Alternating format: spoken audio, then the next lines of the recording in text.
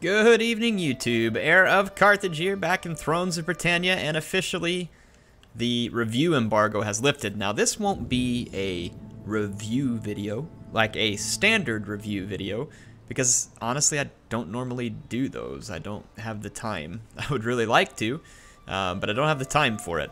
Um, so I do intend to give you my thoughts on this video now, though, because that review embargo is lifted, I can give you my overall impressions.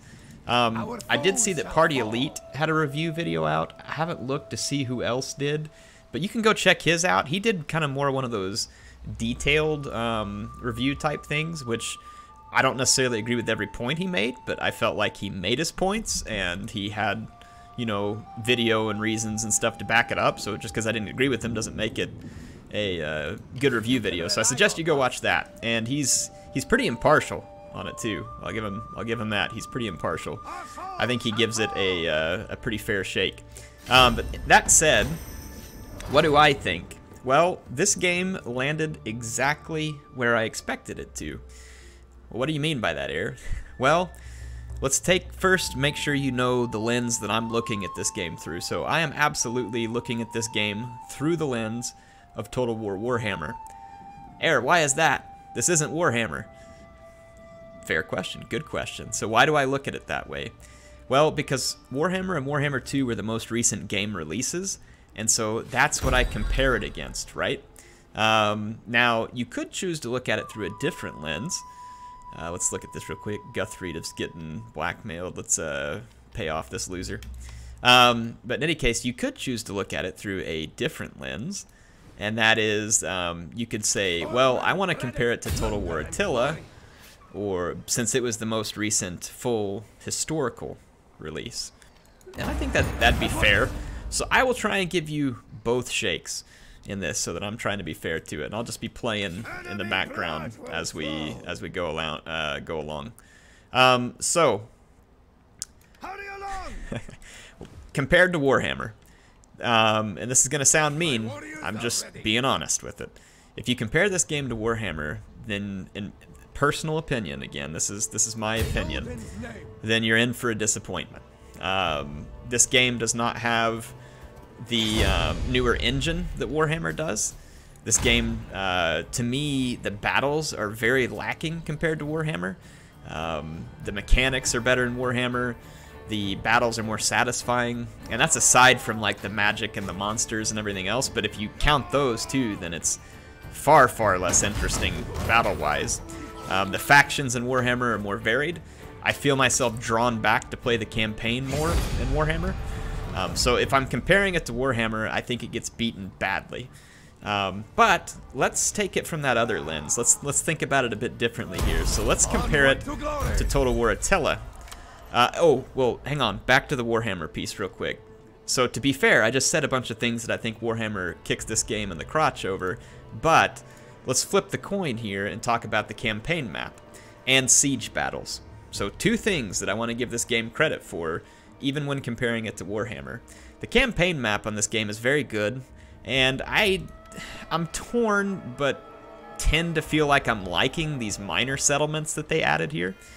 Um, it's kind of neat that they're what drives your economy and your food, and you do have to protect them it gives you a real reason to be concerned about small enemy armies marauding into your lands because there is, you know, you're not gonna have a garrison or something to protect these. That annoys me sometimes because I hate how the AI does that, but at the same time, it's kind of neat and it kind of makes sense. Like you can't just have one citadel that represents your your land, right? You've got to take care of these smaller pieces of land, and rebellions and other things do become more of a threat uh, because of that. Uh, also on the campaign map, um, the food mechanic that they've put in works fairly well. Um, it's not super annoying like the Skaven food mechanic or like the, um, what do you call it, the climate change in Total War Attila. It's fairly easy to manage, it's fairly straightforward. If you run short on food, you start to suffer attrition with your armies. Your recruitment cost food and gold. Kind of makes sense. You got to have have the food and gold to upkeep an army. Um, and then, uh, yeah, so that's a neat addition. For each of the factions, they've put kind of one of these driving things up here. For Northumbria, it's here king, um, which means you're trying to like balance the favor of the English versus your army, the Great Army. Um, and it gives you a reason to maybe maybe stop going to war sometimes or appease the English or whatever it is you need to do because right now, you know, you can see I'm suffering some problems like some public order issues in all regions because I'm ticking off the English that I'm ruling over. It's a nice mechanic. I, I like it. Um, the faction screen is very good. Um, you got your family tree, the political actions, um, governors and estates is cool. How you can have a governor and you can split up the estates amongst your nobles in order to keep them happy and loyal. Uh, you know, like this, for instance. Um, uh, so we could we could take this estate, for instance, uh, and reassign it to another one of my uh, nobles just to keep spreading this out. And it helps keep your folks loyal. You can see the loyalty stays high whenever you're being fair with them, right? So good things that this game did. The art style in the game is very good. The music is very good. Is it better than Warhammer art and, and music? Eh, that's a matter of opinion. I say no, but it's good. It's it's its own thing. Um, so in any case, there you go. That that was my thoughts. Eh, hang on, it seems like I'm missing one thing. Give me just a second here. I think that mostly covers it in terms of my thoughts this game versus Warhammer. Um, so, oh, the sieges, the sieges. I knew I was forgetting something. So the siege battles in this game, um, apart from the crappy AI and a little bit of pathfinding issues, the sieges in this game are a lot more satisfying. Um, you know, you, you could have still, I think the siege escalation is still in. Don't quote me on that because I haven't spent a bunch of time sieging, but I'm pretty sure it's still there from Attila. The siege maps are just better. There's multiple entry points, there's choke points. It's just more fun to fight. The AI is a little worse than it is in Warhammer, but overall, this game got Siege better, uh, Siege way better. There's naval, like you can incur um, uh, a naval, uh, you can do a naval landing into certain places. You know, it's, it's just better. Uh, the maps have more options, more ways to fight, more ways to keep it interesting. That's all there is to it. And in that respect, it's another way in which this game, uh, in, in my opinion, is just better than Warhammer, the Siege battles. CA could have done better on the siege battles, and they just didn't. Um, don't know the reasoning, but they didn't. So, again, just something to, to keep in mind. See, we just lost some food there. See, that rebellion was actually a big deal. Um, it took away a province from me that, that actually had some food that I needed. See that? Hurts. It hurts bad.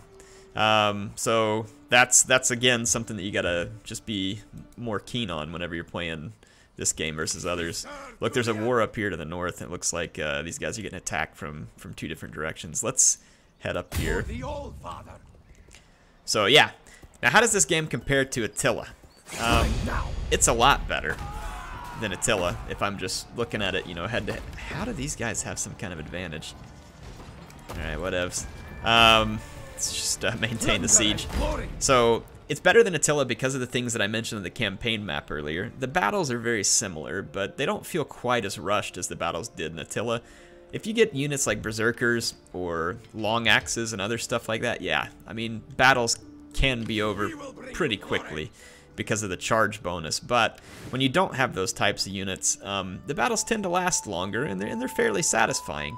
Um, the research system is more satisfying in this game, in my opinion. Um, and then the recruitment system is something, honestly, I'm not very fond of, but some people like it. So I, I think the recruitment system's kind of kind of stupid, to be honest. Like where you have to wait forever for units to be uh, viable because they're very, very slowly replenishing. So again, I'm I'm not a fan of that, but some people are. And um, you can actually merge units and stuff to make it go faster. So there are ways to uh, to make it go faster and kind of get around it a little bit. Ooh, used up some of our food there. We got to watch it. Um, but yeah, so compared to Attila, I think it's good. See, here's the research screen. We finally got enough axe units, for instance, um, that we can start researching melee, uh, which I want to do because this starts to give uh, unlock new units, and you can upgrade the units that you already have, and then it starts to add just like insane awesome buffs to your axe units so you can focus um, on how you want to play. So again, I actually I think the technology here, uh, the tech tree, is a lot more relevant than Attila. Um, the game runs the same in terms of performance. It's basically the same as Attila, which is poor. Um, if they've made any improvements, I can't really notice it. Now, of course, when Attila was out, I was gaming in 1080p, and it was on older hardware. I'm now gaming at 1440p, and it is on relatively new hardware. Um, so definitely different um, set of circumstances, but running this game at 60 frames and 1440p, I have a GTX 1080 Ti and a, an i7 8700K, and look at this, the stinking rebel armies down here growing. And it is very difficult to run this game um, at 60 frames. It just is. It is not easy to do. So, something to be aware of, right? Uh, I still don't understand. Will be joined by the settlement garrison to fight against you. I mean, am I missing Take something here? Their additional Thanes, contribution to the defenses. axemen, long axes. I mean, this army doesn't look that threatening to me. Pretty sure we can take him, but we'll find out if I'm wrong. Um, so yeah. Anyway, a lot, lot of reasons why I think this game is a little bit better than Attila. You still have the naval battles, if that was a thing for you. You've got the naval landings. Um, overall, it's a better feel than Attila. So if, if you liked historical titles and you had fun with Total War Attila, you'll like this game.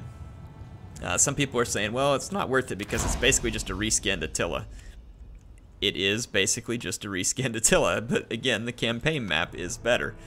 Um, so if you want to call it a reskinned Attila, I I don't guess I would highly disagree with that statement.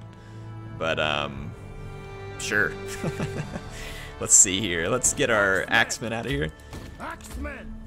But whether or not you think it's worth your money is something that I'd really rather leave uh, up to you all, right? Um, because is it worth my money? Uh, I think so. Um, I think it would be worth my money. Uh, again, I, I probably wouldn't play it a lot, honestly, because of Warhammer. But that's that's a personal thing. Would I be able to get enough hours of enjoyment out of it to justify the price for me? Yes, I think so. Um, so, but I mean, that's just my opinion. Now, if if you're a huge Warhammer fan and you're not sold on this because it's like Attila, and you just like Warhammer better, then this game isn't gonna be for you. That's that's just again my shut up. I'm trying to talk.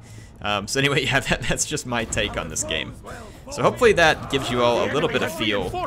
But again, look at this siege map versus Warhammer, right? You could have done uh, ships here as well. The gate goes all the way around the city. There's buildings and stuff that act as a uh, choke points, and then there's this path all the way up to the high ground, where eventually you have the town center way back up here, where it can be, you know, defended. There's towers. There's there's definitely a lot more going on with siege battles in this game. Let's fast forward, get our troops to the walls.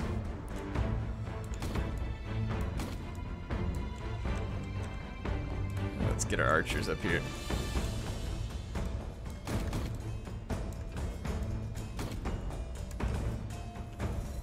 We're just gonna try and move everything through the siege towers to do our work. Um, if we switch over to flaming shot, can we get rid of these towers? I'm gonna try it. Hopefully I don't hit my own siege tower.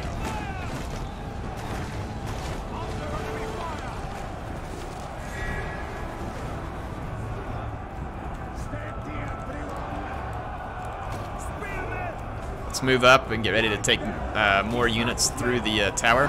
I sent my most powerful units through the, um, the siege towers first.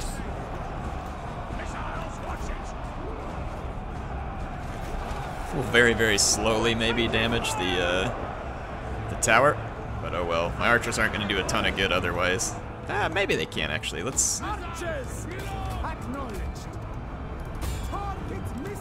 They did bring back guard mode also, which was a small but nice thing. Got my sword hirdman up here. How are they getting so beat up?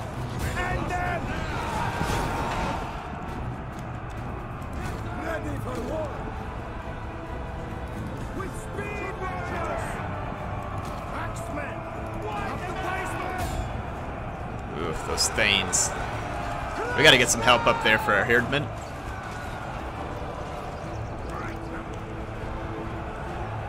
Alright, so we're gonna get our second wave of men heading up the, uh... Can we burn the uh, gatehouse? Sure can. Go start burning. We routed one unit there. Some javelin men.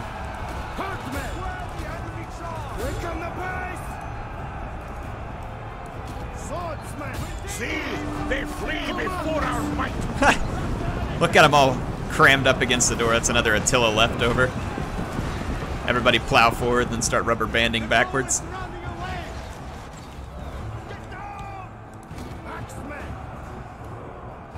How quickly are we breaking our way through the gates? We're up to 19.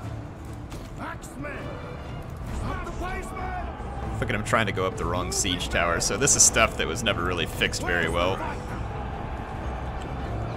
Let's just break the gate open and try and get in that way. Stop firing because we may be doing friendly fire. We're not doing a lot of damage, so let's keep working our way up. Siege tower, so our Thanes and Axemen are doing pretty good over here. Let's go engage these Axemen. Start pushing forward with these Thanes. Our Sword Hirdmen are uh, getting pretty beat up. Battle is turning in our favor. There we go. Lost a, or they lost a spear unit there, but we've got a. let's pull this unit over.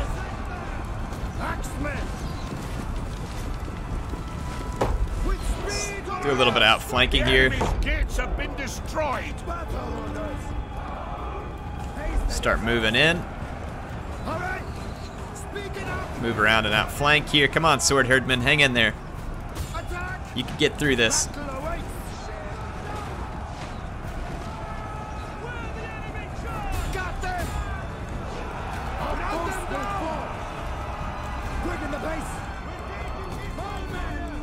Let's bring these other units over here. Our general is under attack. All right, Guthfrith. We have captured the gates. I took the gates away. Enemy general is dead. That's good news. Ah, we just got our uh, sword hirdman shattered. What are these guys doing?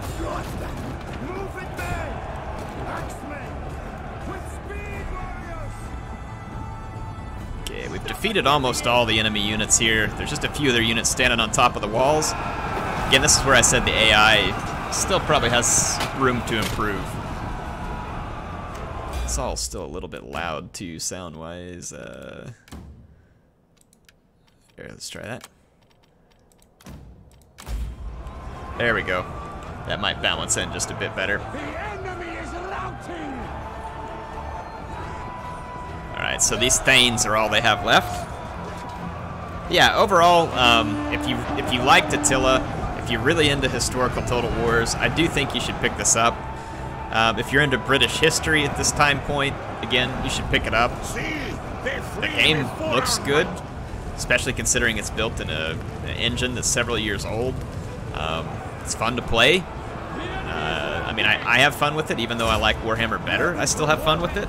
So, if you're really into Warhammer, then this one may be not for you.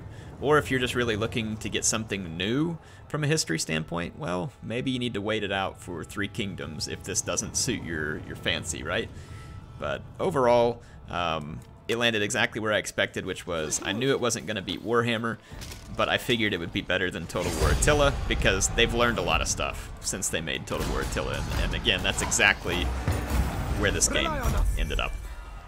It is slightly cheaper than a uh, brand new title. Not a lot, but it's just a bit cheaper.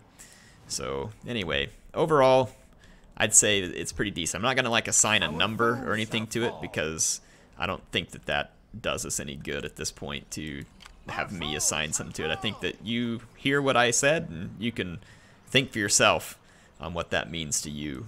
Um, let's go upgrade Guthfrith. I'm gonna do this Forager again, which gives me extra food, makes his replenishment faster. really want his replenishment to be as fast as possible because replenishment can feel rather slow sometimes in this game after uh, hang on, what was that? Oh, we can issue a governor, or we can assign a governor. Let's take uh, this guy here. Put him in as a governor. Doesn't have great loyalty, but maybe this will help us make him get better loyalty over time. Let's end a turn, and then on the next turn, I'm going to spend some money on some buildings. But so far, our war's going pretty good. The English hate our guts, but I think that's kind of part of being the Great Army, right?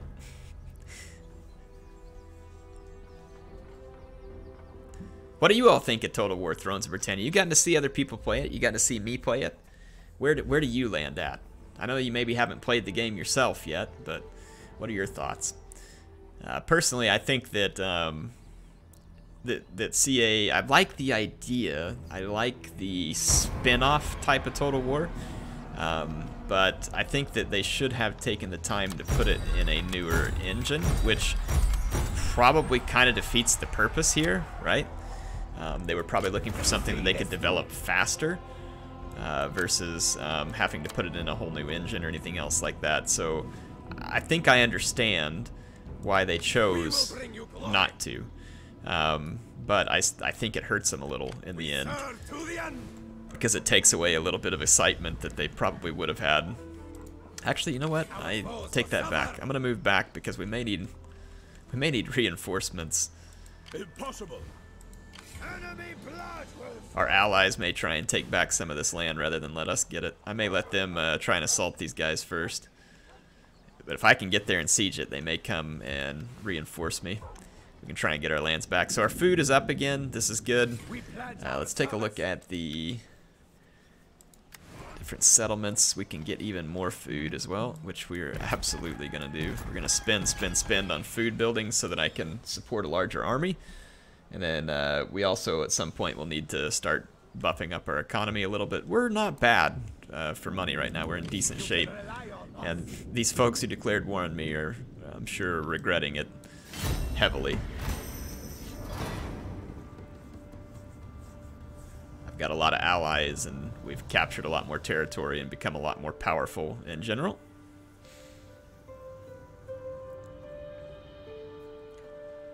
You see my allies just took the Cherchebi or whatever. I wouldn't begin to know how to pronounce that.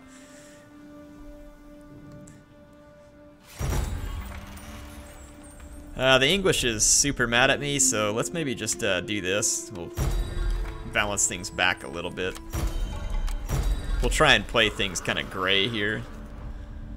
But obviously there's benefits to having the army be happy too, so I don't want to make the English too happy. we'll give them occasional breadcrumbs, but we, we don't want to make them too happy.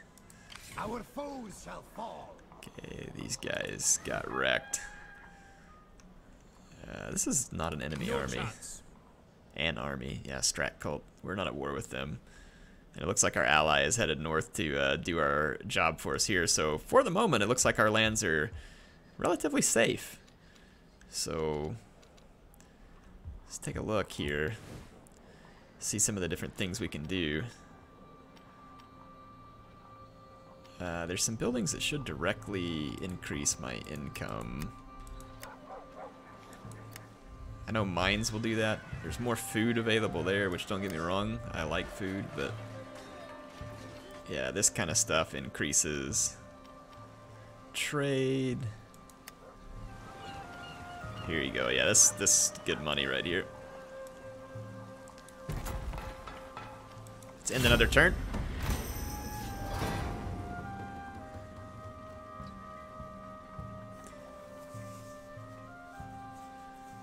do really like the music. It seems very mood appropriate.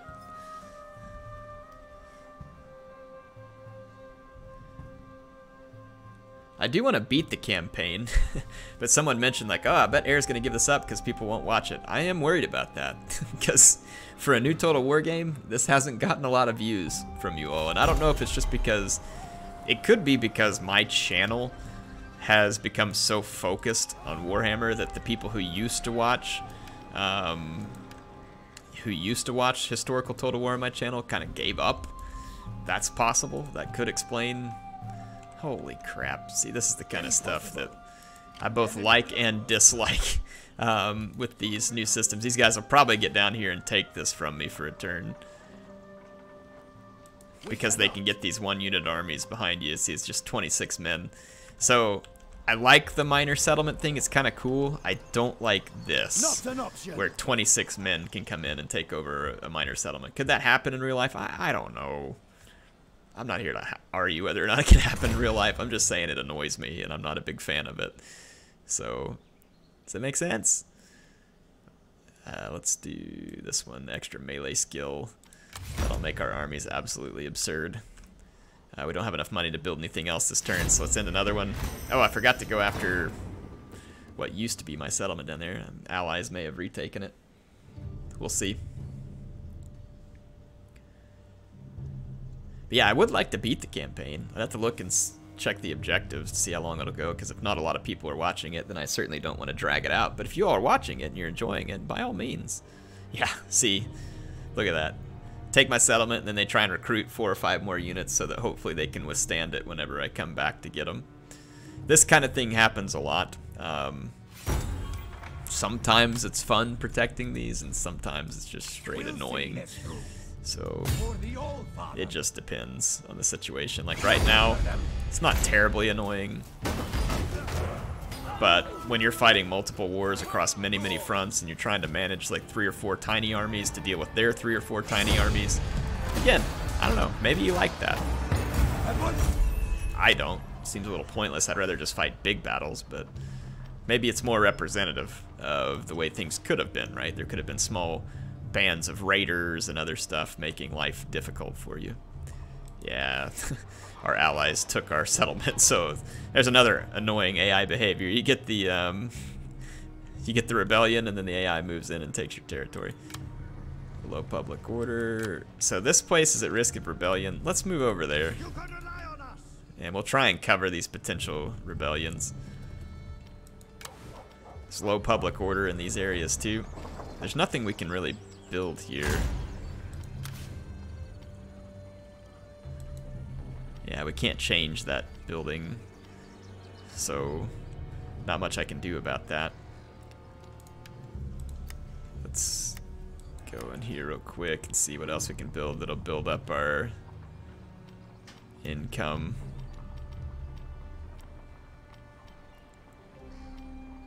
The church does help public order. Industry. Let's build up the abbey and then we'll build up like the mines and other stuff once we have a little bit to offset it. This general. Let's better at replenishing. That's just my favorite way to go. I mean, obviously you can upgrade your generals differently than I'm doing here.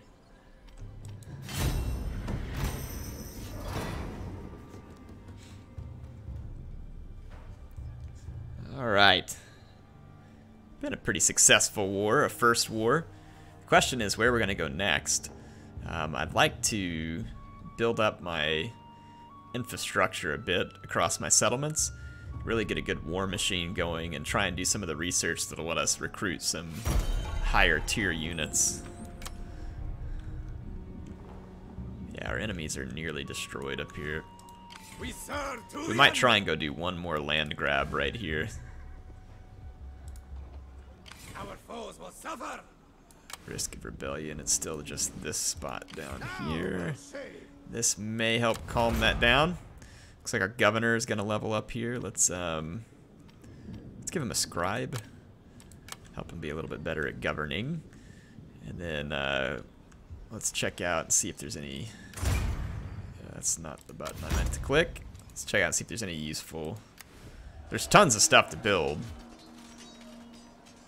We need stuff that's going to help public order. If we build that, maybe we can build something to help with public order.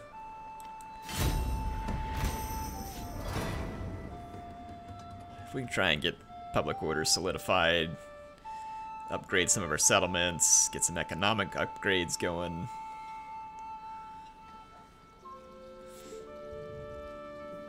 Holy, 20 stack? It's a good thing they're my ally. My allies aren't kidding either. I just don't want to recruit a bunch of units right now because I don't want to pay the upkeep. I'm uh, doing fairly well. We pledge our service. It's my upkeep as it is. Let's go ahead and go take this real quick. Marching through the cold. Yeah, I knew these guys would be weak because they just recruited a bunch of those units. Give them a swift kick in the nuts and take their settlement.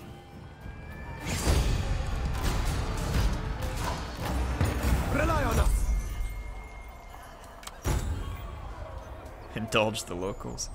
Yeah, I'm sure they really like me right now. Eliminate Northload. Yay, the army likes me more. But the English hate me. Alright. What do we got here? This building needs repair. I'll bet it does. Let's repair it. So, there we go. Still at risk of rebellion down here, but we started building that up. Let's check. Again just find some stuff to build here. Let's go ahead and uh, crank up the food. I mean, I need to do this one next time. Get some extra income out of the copper mine. And we can go ahead and start recruiting some more units into our main army so that we have one big brutal army with our faction leader. And then we can probably just have several smaller armies spread throughout as defensive forces. You got to keep those uh, forces loyal, though. Um, if you have a general who becomes disloyal, he can defect and take all the troops that you've given him with him, and it can become a big problem. So something to keep in mind.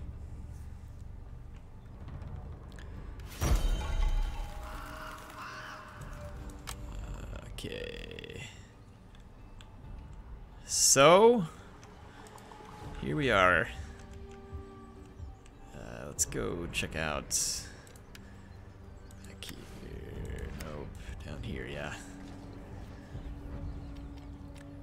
Probably wouldn't hurt to build this too. Yeah, food production's going way up now. We got a few buildings uh, that we're working on. They're going to take away some of it. We finished some more research. So yeah, this will unlock Housecarls, Danelaw Axemen. Uh, we can upgrade our current Axemen. So we're definitely getting some nice upgrades here. That's going to be huge. 15 melee skill. Going to make our guys brutal. So yeah, you, usually when I get a little bit of a lull in the war, I like to do this type of thing, because uh, being at war for too long can wear on your... It depends on your faction, honestly. With this one, right now, the army likes it, right? Uh, but there's other factions you can play as, like some of the English factions, where too much war will kind of wear on the people, and they get tired of it, so it's something that you got to balance out.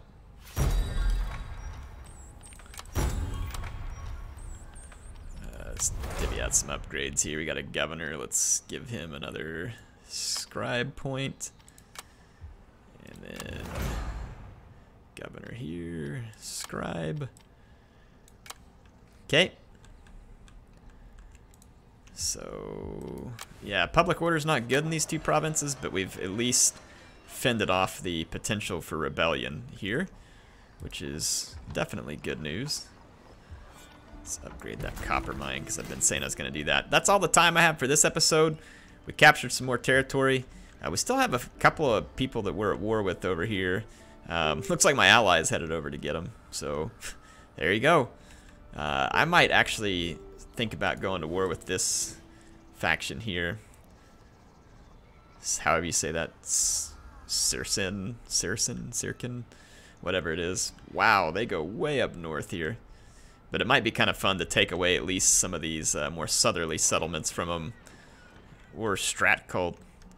So I don't know. They've got some, some holdings down here that I would certainly like to take care of. Let's look at our objectives.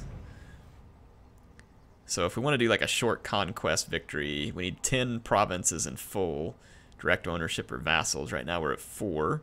And we need 50 settlements. So that would be one. Or we can achieve 256 fame, where short kingdom victory dis defeats seven factions. We've done three, and we already control the uh, main piece here. So there's a few different ways that we can do kind of a short victory. And that's, again, this is another, I like this, how they have different routes that you can take to victory too, depending on your playstyle. So anyway, hope you all enjoyed this. Hopefully it gave you some thoughts on the game. Heir of Carthage, signing out for now. I will see you soon.